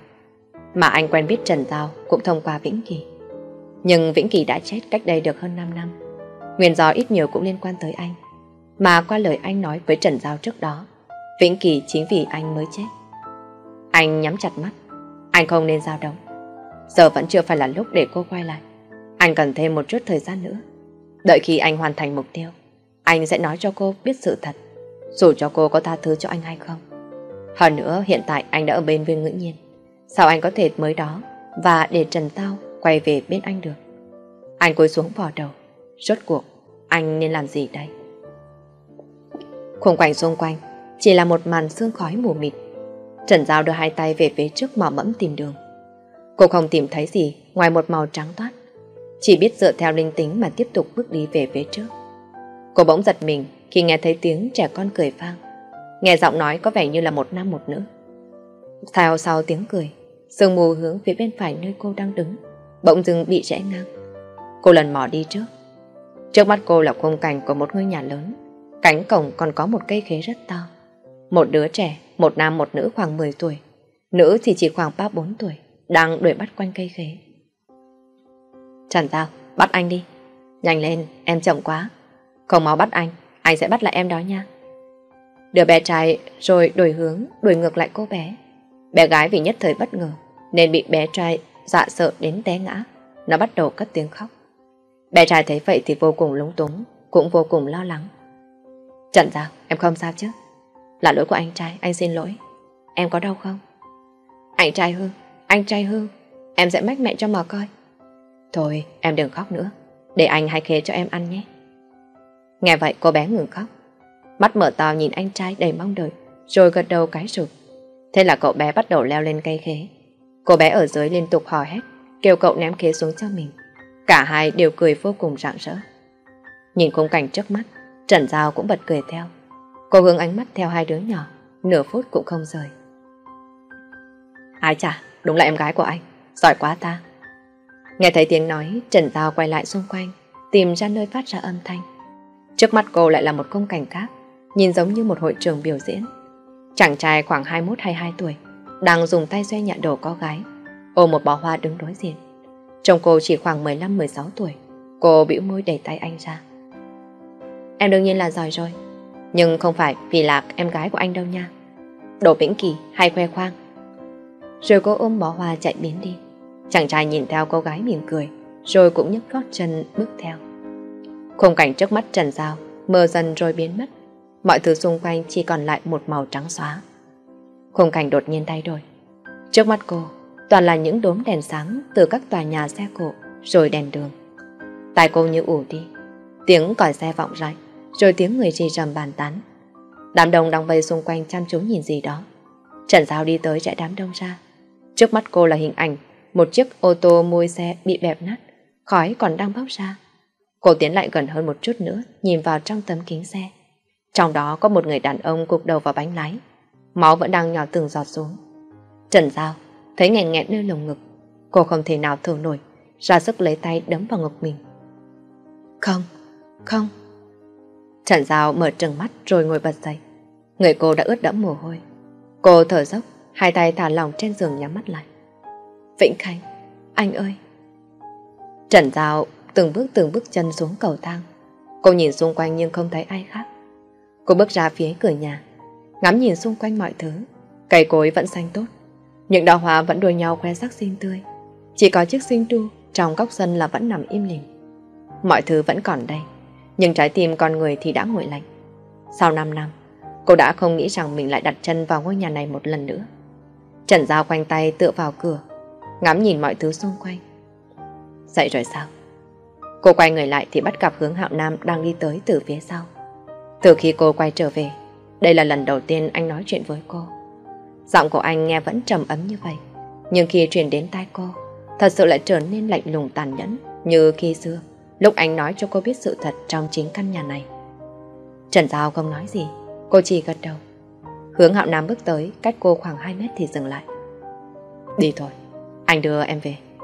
Anh cất tiếng nói. Trần Giao không nói gì. Cô đi thẳng ra phía chiếc xích đu ngồi xuống. Cô nhẹ đẩy chân khiến chiếc xích đu đu đưa theo. Hạo Nam đứng từ trong nhà nhìn ra. Một giây nào đó anh nhìn cô tới ngơ ngẩn. Anh thật muốn chạy lại ngồi bên cô như ngày nào. Anh bước đến phía gần cô hơn, nhìn cô như không mỉm cười. Sao vậy? Anh cất tiếng hỏi. Hạo Nam à, chúng ta thật sự không thể quay lại sao? Lần này tới lượt anh im lặng. Anh anh dững lại trước câu hỏi của cô. Anh chưa từng nghĩ cô sẽ chịu tha thứ cho mình. Chưa từng nói đến chuyện đề nghị quay lại. Anh vẫn không trả lời chỉ nói. Tôi đợi em về. Lát nữa công ty còn có cuộc họp. Cô cười khổ. Là cô đã đánh giá anh quá thấp. Hoặc giả là cô đã đánh giá bản thân mình quá cao. Không sao, em tự bắt xe về. Đã làm phiền anh rồi. Nói rồi cô lấy di động ra gọi cho ai đó. Hướng Hạo Nam không nói gì. Như vậy cũng tốt. Sau khi Trần Giao rời khỏi, anh lái xe đến nhà của Vương Ngữ Nhiên. Anh dừng xe trước cửa rồi gọi điện thoại cho cô ta. Vương Ngữ Nhiên nghe xong liền chạy ra mở cửa cho anh. Anh mở cửa xe bước vào nhà cùng với cô ta. Sau khi cả hai đã ngồi xuống ghế, Vương Ngữ Nhiên tròn tay ôm lấy cổ anh. Hạo Nam à, hôm qua do em nhất thời tức giận, nên em mới to tiếng với anh. Anh đừng giận em nhé. Không, là lỗi do anh. Anh mới là người có lỗi với em. Nghe anh nói như vậy, vừa ngữ nhiên không những không cảm thấy thoải mái, mà ngược lại trong lòng lại càng cảm thấy bất an. Lúc nói câu nói đó, hướng hạo nam không nhìn câu ta. Nói xong anh mới ngừng đầu lên, rồi lại quay sang nói tiếp. Ngữ nhiên này, anh có chuyện này muốn nói với em. Thực sự anh đã suy nghĩ cả đêm qua. Em là một cô gái tốt. Em xứng đáng có một tình yêu thực sự, một người thật lòng yêu em. Không, em không muốn nghe. Vừa ngữ nhiên ngắt lời anh, Cô ta buồn bàn tay ra khỏi tay anh, lấy tay bịt tay mình lại. Hướng hạo nam tiến lấy gần, kéo hai tay cô ta xuống rồi từ từ ôm lấy cô ta. Ngựa nhiên à, nghe anh nói này, anh thật sự đã từng muốn thử đến với em, muốn cho hai chúng ta một cơ hội. Nhưng đồng thời anh cũng thừa nhận, mình không thể nào quên được cô ấy. Anh không muốn tiếp tục cho em hy vọng rồi lại tổn thương đến em. Anh không thể cứ ích kỷ để em chờ đợi mình được. Ngữ nhiên à, chúng ta chia tay đi. Vừa ngỡ nhiên vòng tay khỏi anh. Anh nói anh không muốn ích kỷ để tôi phải chờ đợi. Anh cho rằng anh làm như vậy không phải là ích kỷ hay sao? Tôi với anh đã bên nhau được bao nhiêu ngày đâu. Vậy mà cô ta vừa trở về, anh liền muốn chia tay. Anh xem tôi là cái gì? Anh xem tôi là cái gì hả? Cô ta hét lớn, đứng bật dậy khỏi ghế. Hướng hạo nam không nói gì. Anh biết lúc này Vương Ngữ Nhiên đang không được bình tĩnh. Dù anh còn nói gì cô ta cũng sẽ không nghe lọt tai. Anh liền đứng dậy rồi cất tiếng. Là anh có lỗi với em, Ngụy Nhiên à? Rồi anh rào bước đi ra ngoài cửa. Hướng hạm nam, anh đứng lại, anh đứng lại ngay. Sau khi anh ra khỏi cánh cửa, Vương Ngữ Nhiên bật cười vang. Trần Giao, cô quả nhiên là cao tay. Người đàn ông tôi yêu thương bao nhiêu năm không giành được, thậm chí phải dùng đến cách hành hạ nhất là bỏ thuốc vào rượu của anh ấy, để khiến anh ấy có mối ràng buộc với tôi, để giữ anh ấy lại bên cạnh tôi. Vậy mà cô chỉ dùng một chiêu đã cướp anh ấy ra khỏi tôi. Tôi quả thật đã xem thường cô rồi. Năm đó, lẽ ra tôi nên để cô biến mất khỏi anh ấy mãi mãi. Vương ngữ nhiên thả mình xuống ghế. Cô nhớ lại hình ảnh từ 5 năm trước. Hôm đó trời vừa tạnh mưa, mặt đường cũng bắt đầu trở nên cô ráo. Cô ta đang lái xe đến biệt thự của hướng hạo Nam để đưa tài liệu cho anh. Khi gần đến nơi thì di động bỗng nhiên rơi khỏi chỗ để rồi lăn xuống sàn. Cô ta thấy phía trước không có người nên cúi xuống nhặt. Lúc ngẩng lên thì loáng thoáng thấy một bóng trắng tới đầu xe. Vừa ngỡ nhiên vội vàng đạp thắng xe nhưng vẫn không kịp. Cô ta hình như đã tông vào ai đó mất rồi. Lúc đó cô ta rất sợ hãi. Tay run run mở cửa xe bước xuống. Khi nhìn người nằm dưới đất, cô ta còn kinh hãi hơn gấp nhiều lần. Người kia nằm ngửa dưới đất, mặt và tay chỉ hơi say sát. Có lẽ cô ta thắng cấp nên gây thương tích không quá nặng cho người này. Nhưng phía bắp đùi người này lại liên tục chảy ra một dòng máu đỏ tươi. Điều khiến cô ta kinh hãi hơn cả, người kia là người cô ta quen biết, đó chính là Trần Tao, người yêu của Hạo Nam. Cô ta hốt hoảng vô cùng, không thể để ai biết chuyện này được, đặc biệt là Hạo Nam. Nếu để anh biết, anh nhất định sẽ không tha thứ cho cô ta. Nhưng cô ta cũng không thể để mặc Trần Giao ở đây được. Cô ta run rẩy, đang không biết làm thế nào, thì nhìn xa xa có một chiếc xe đi tới. Cô ta sợ quá nên lái xe bỏ đi. Và ngày sau đó Vương Ngữ Nhiên sợ đến mức không dám ra khỏi nhà. Cô ta phải xin nghỉ ốm ở nhà, thậm chí ban đêm còn nằm mơ thấy ác mộng. May mà một thời gian sau, cô ta biết tin Trần Giao không sao. Hơn nữa đã bay sang Anh du học nên cũng phần nào thanh thản. Một thời gian sau đó, Vương Hạo Nam không gặp lại Vương Ngữ Nhiên, cũng không gặp lại Trần Giao. Anh đã cho Vương Ngữ Nhiên nghỉ phép một tháng để cô đi đâu đó thư giãn tinh thần. Thậm chí nếu bây giờ cô muốn nghỉ việc, anh cũng sẽ đồng ý. Nhưng điều kỳ lạ là không thấy Vương Ngữ Nhiên tỏ ý từ chối. Cũng không thấy cô gọi điện cho anh, mà hiện tại công ty đang trong thời gian thực hiện rất nhiều dự án quan trọng. Anh hầu như không còn có thời gian để trở về nhà. Không những thế dạo gần đây, những cổ đông vẫn luôn kéo anh xuống, đã càng ngày càng tỏ rõ thái độ. Từ sau khi anh làm mất dự án với Dương Đình Thắng, lại càng viện vào cớ đó để lôi anh xuống. Mà dạo này do một vài chuyện riêng tư, cũng khiến anh lơ đãng mất việc trong công ty. Trong cuộc họp vừa rồi, mọi người đã bỏ phiếu quyết định sẽ tổ chức một cuộc họp bầu chọn lãnh đạo mới cho công ty. Mà người được đề cử khiến anh không mấy bất ngờ. Người đó không ai khác chính là Tề Hạo. Thực ra anh cũng đoán được phần nào. Lão cáo giả Đỗ Thịnh nâng đỡ anh ta chắc chắn là có mục đích. Nhưng anh không mấy lo lắng. Chức vị chủ chốt của công ty không phải là việc nói đổi là đổi. Tề Hạo thì có tài năng, nhưng anh đã ngồi vững trên chiếc ghế này những năm năm. Cũng không ít lần lập thành tích cho công ty. Hơn nữa cũng có không ít cổ đông ủng hộ anh. Chỉ cần thời gian này anh không sai sót gì cả, bọn họ cũng muốn cũng không thể kéo anh xuống được. Chuông điện thoại reo lên. Anh nhìn thấy trên số màn hình thì lập tức bắt máy. Nghe tới đầu dây bên kia nói, thì khuôn mặt anh không giấu nổi ý cười. Anh vừa nghe vừa mở máy tính đăng nhập vào hòm thư. Có một bức thư được đánh dấu quan trọng mới được gửi tới. Anh nhấp vào mở thư, rồi nói với đầu dây bên kia rằng đã nhận được rồi tắt máy. Anh kéo xuống xem một lượt, khóe môi anh nhếch lên. Tốt lắm, bao nhiêu năm chờ đợi, cuối cùng anh đã chờ đợi được ngày này. Anh copy dữ liệu vừa nhận được, bổ sung vào tệp bảo mật, rồi xóa thư vừa nhận. Rồi lại đem tất cả dữ liệu, cóp vào hai chiếc USB, sau đó để vào trong kết sắt. Xong rồi, anh tự mình ra ghế. Vịnh Khánh à, cuối cùng cũng đã tới lúc rồi. Cuộc họp bỏ phiếu sẽ được tiến hành sau 2 tuần nữa. Tề Hạo nói với Trần Giao. Chúng ta nắm được bao nhiêu phần trăm? Không nhiều, chỉ khoảng 30 phần trăm. Tuy nói hướng Hạo Nam đó thời gian gần đây đã vướng phải một chút sai sót. Chúng ta cũng đã mua chuộc được không ít cổ đông của hướng thị. Nhưng dù sao anh ta cũng đã người đưa công ty đi lên trong suốt 5 năm qua. Cũng là người nổi tiếng tài giỏi trong giới kinh doanh. Hơn nữa cũng nắm giữ một số cổ phần không nhỏ. Nếu muốn lật ngược lại tình thế, chỉ còn một cách. Cách gì? Tề Hạo nhìn thẳng vào cô rồi nói. Khiến cho dự án lần này của hướng thị thất bại. Trần Giao vừa lấy di động. Do dự một lát rồi nhắn tin cho hướng Hạo Nam. Là em, Trần Giao đây. Em có chuyện muốn nói.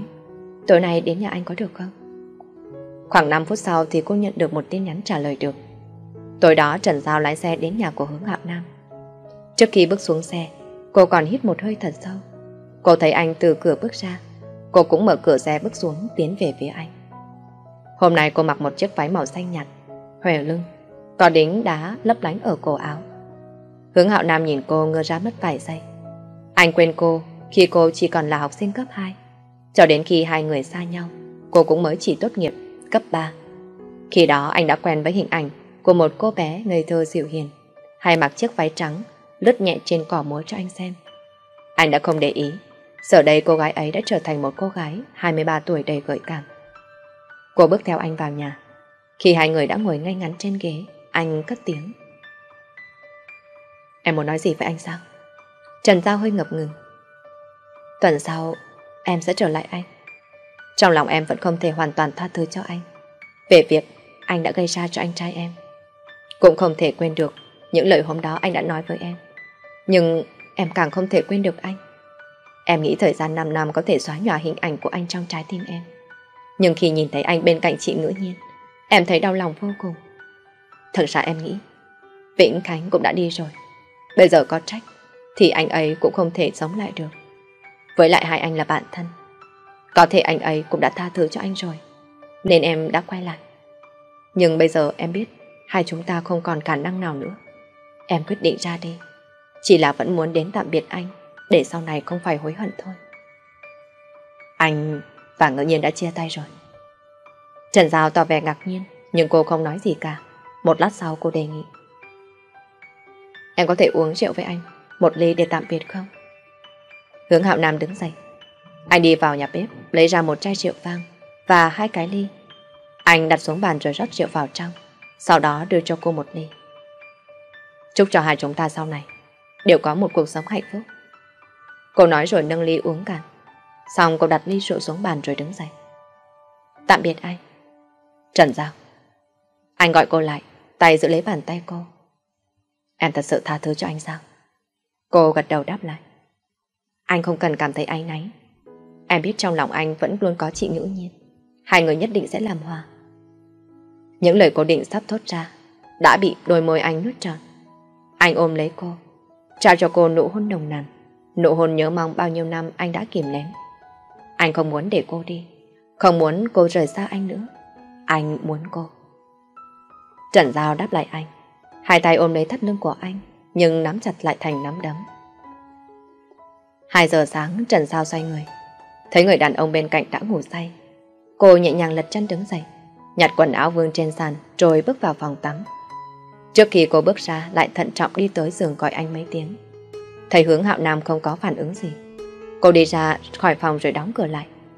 Cánh cửa vừa đóng lại, hướng hạo nam cũng đồng thời mở mắt. Anh nhìn cánh cửa im lìm rồi lại tiếp tục nhắm mắt ngủ. Trần Giao bước tới phòng sách đẩy cửa bước vào. Cô mở máy tính trên bàn ra, màn hình xuất hiện mật khẩu. Cô nhập ngày sinh của anh.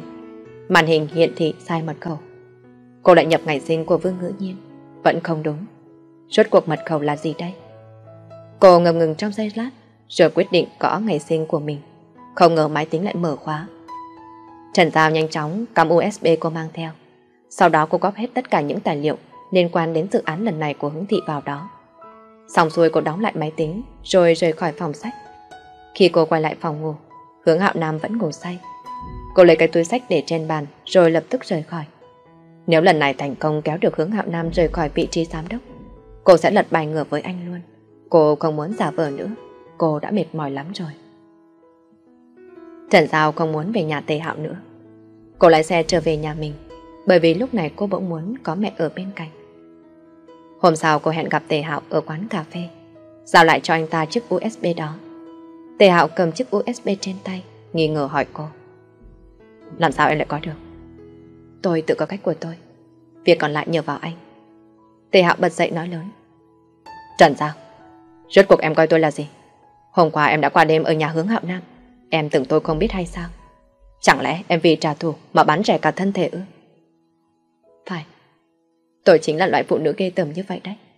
Thế nên anh tốt nhất hãy tránh xa loại phụ nữ như tôi một chút đi. Trước thái độ sừng sưng của cô, Tề Hạo chỉ muốn lập tức xông tới, moi trái tim của cô ra, xem rốt cuộc nó làm bằng gì. Anh sợ mình không kiềm chế được nên bỏ đi ngay sau đó. Được, cô muốn trả thù, vậy thì anh sẽ giúp cô đến cùng. Một buổi sáng, khi hướng Hạo Nam đang ngồi trong văn phòng, anh nhận được tin nhắn báo rằng dự án anh đang làm gặp phải một vấn đề rắc rối nghiêm trọng. Nhiều hệ thống hiện tại phải ngừng hoạt động, chờ lệnh tiếp theo từ cấp trên. Hướng Hạo Nam mặt không đổi sắc. Anh với lấy di động gọi cho Dương Hải Phong, nói với cậu ta tiếp tục triển khai những gì anh đã dặn dò trước đó. Bởi vì tình huống này, anh đã sớm nghĩ tới.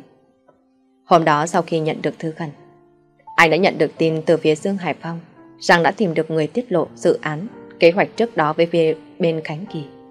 Anh còn biết được kẻ đó ăn cắp thông tin là vì lấy tiền chữa bệnh cho vợ. Đặc biệt hơn người mà anh ta bán tài liệu cho lại là Tề Hạo. Lúc đầu anh hơi bất ngờ. Anh không ngờ Tề Hạo còn dính sáng tới Khánh Kỳ.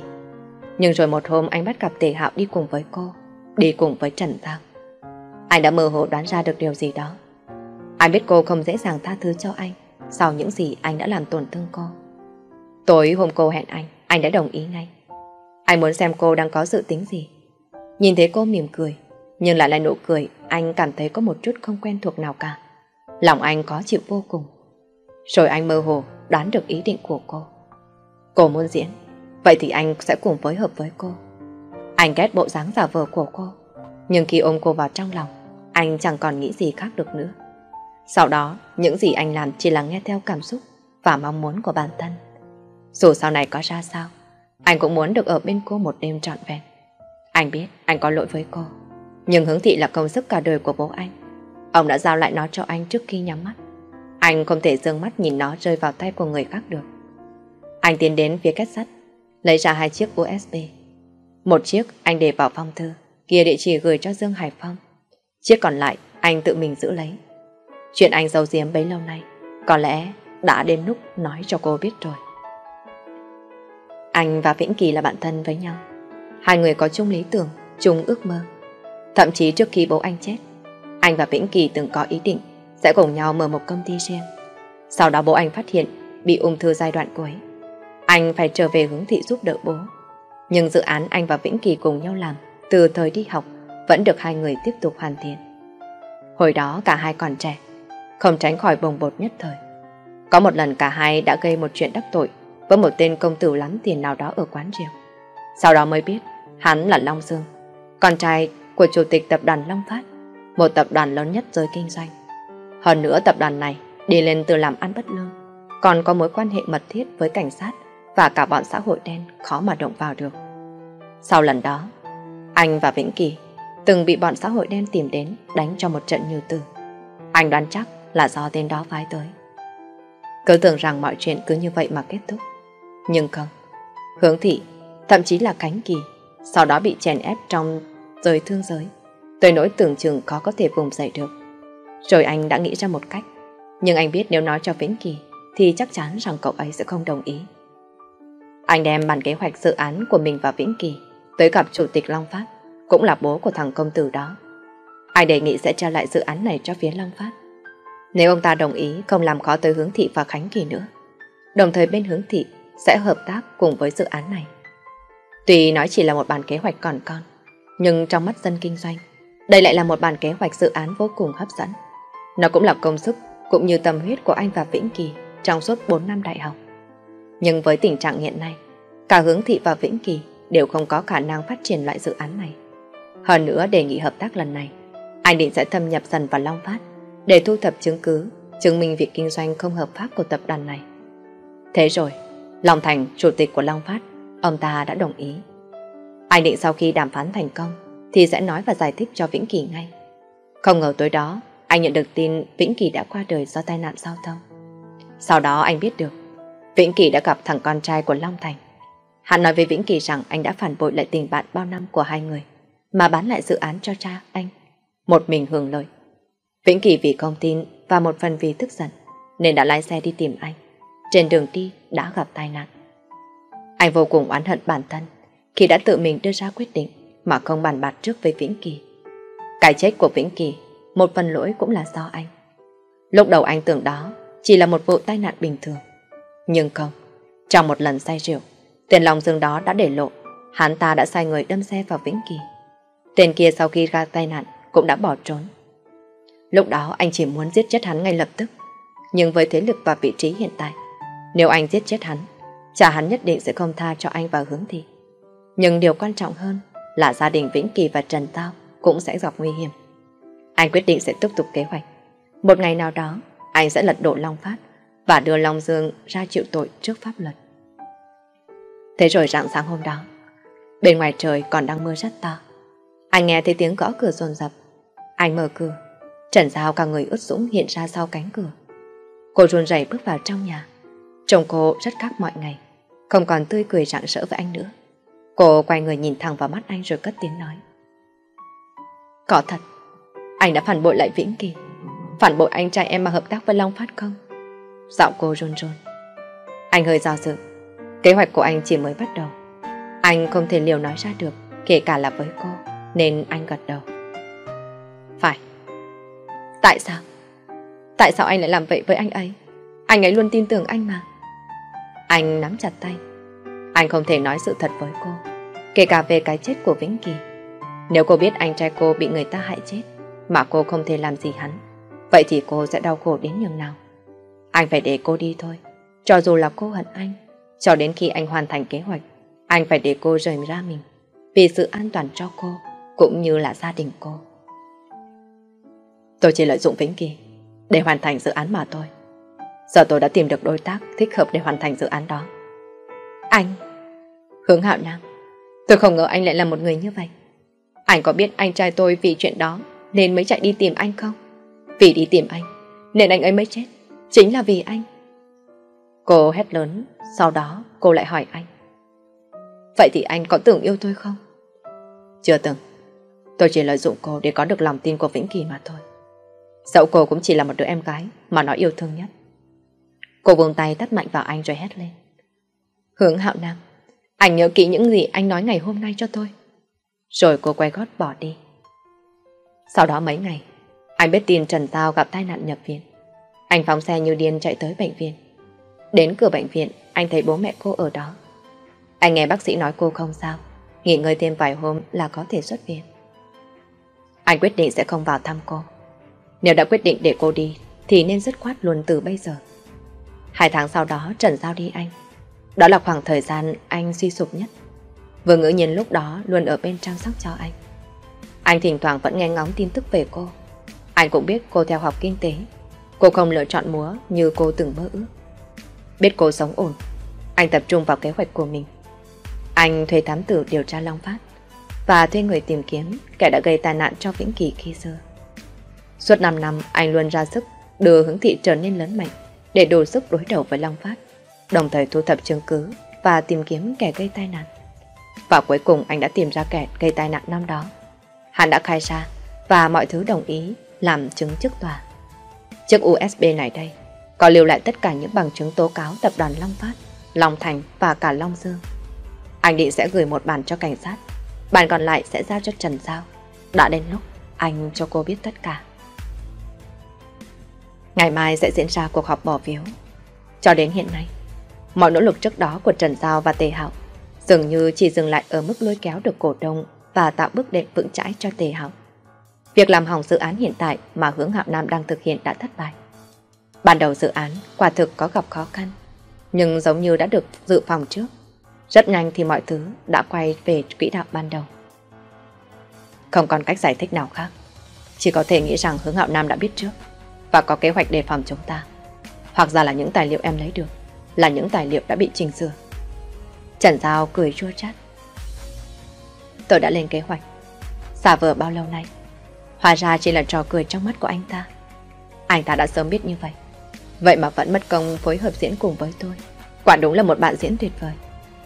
Không sao, chúng ta không phải là không có cơ hội thắng. Đúng lúc này Trần Giao nhận được tin nhắn của hướng Hạo Nam với một dung. Chúng ta gặp nhau đi.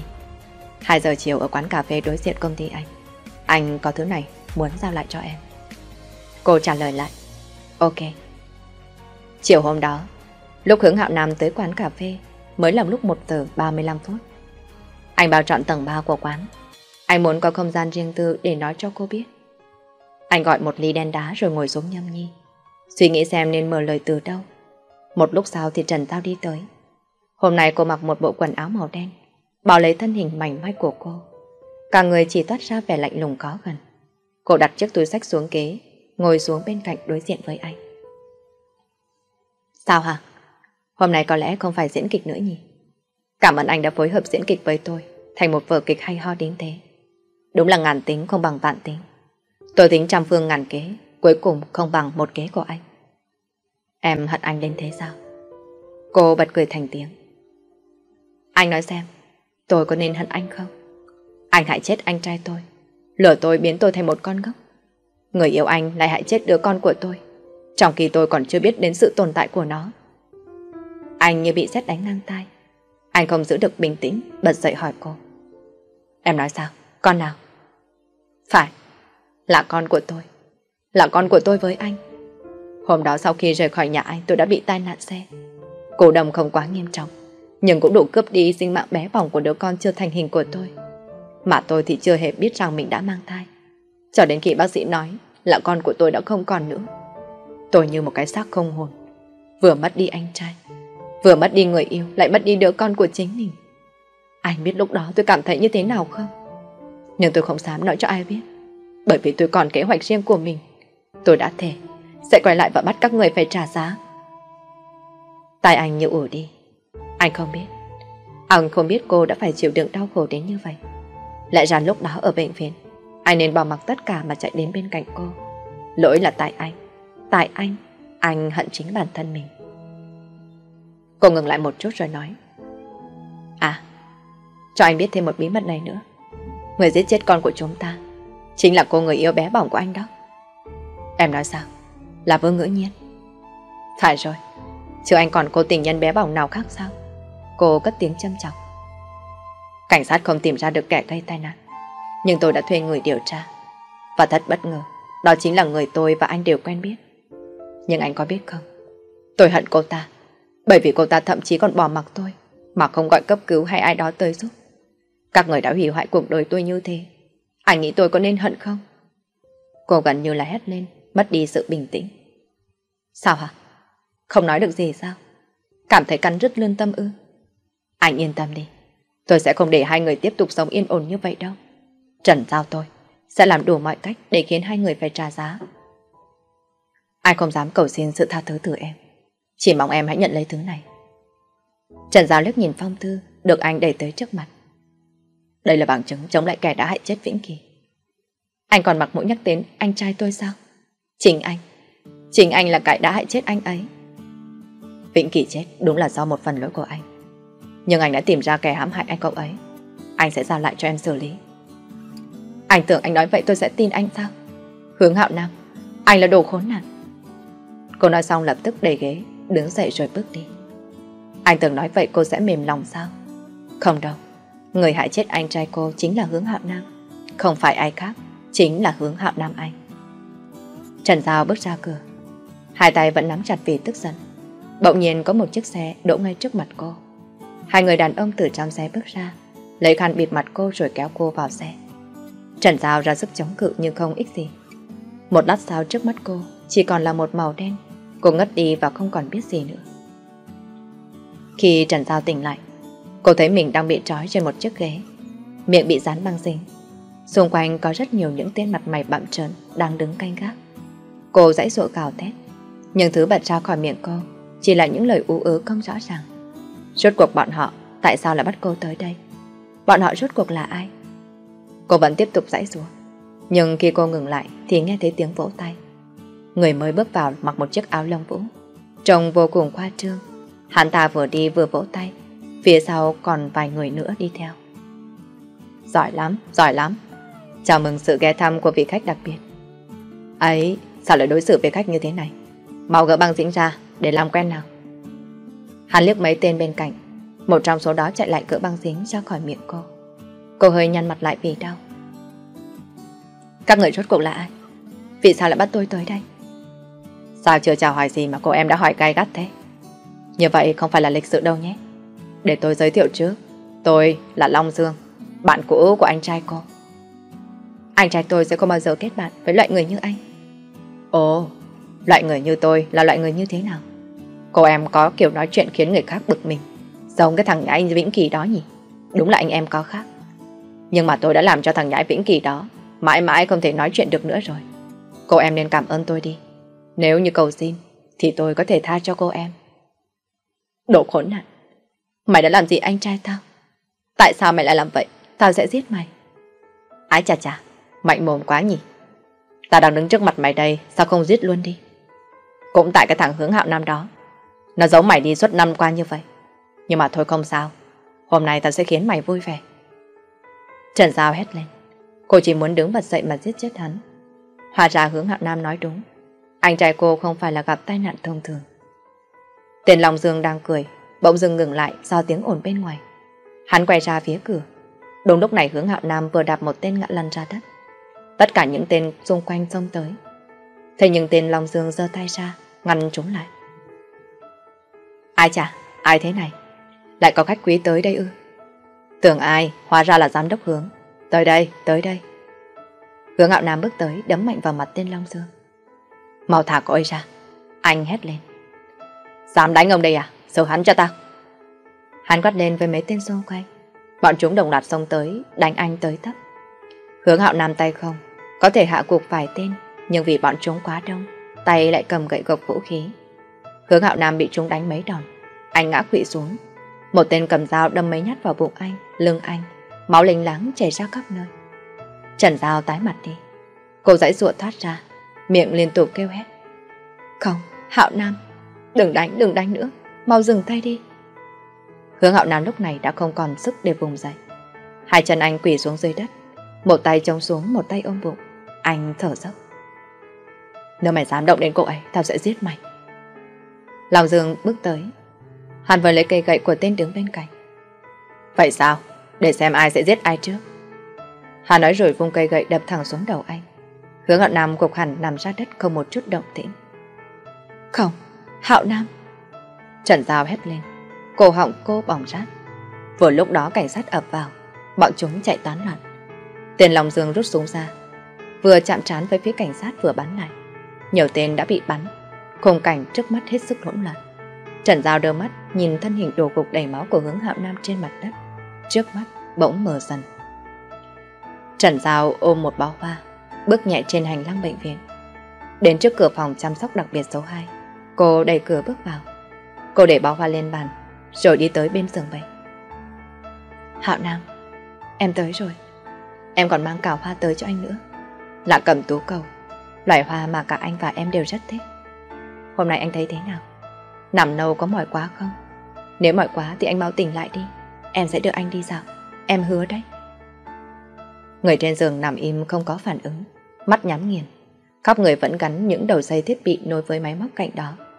Trần Giao cục đầu xuống, cánh tay anh rồi sang tay ôm lấy anh.